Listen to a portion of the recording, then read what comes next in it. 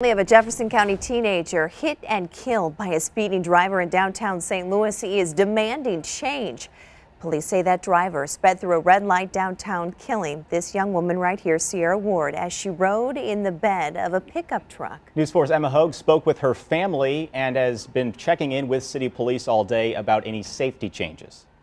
You just don't believe it. And it finally sets in and it's real.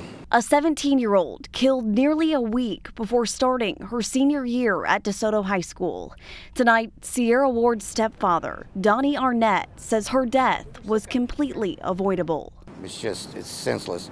You know, one person has changed so many lives right now. Ward was in a truck with friends at 10th and Washington early Monday morning when investigators say this Dodge Charger sped through a red light, crashing into their truck. Ward was killed and three others are hurt. We got the call from the Sheriff's Department, Jefferson County Sheriff's Department, um, about 5 o'clock Monday morning, and um, it's just been a whirlwind since. New video shows people on ATVs and in cars driving recklessly down Washington Avenue just hours before the crash, what witnesses call a nightly occurrence.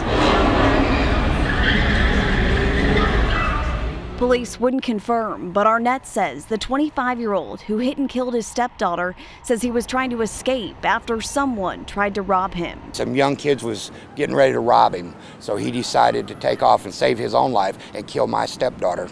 Following recent violence downtown, including crashes and rapid gunfire.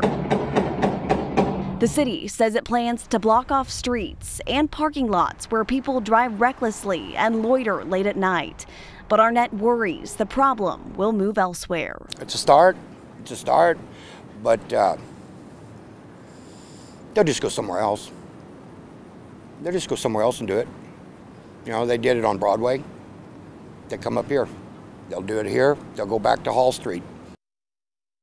That was News 4's Emma Hogue reporting. We're told city leaders have been in meetings all day discussing when and where to put additional barriers up. We'll pass along that new information to you as soon as we get it.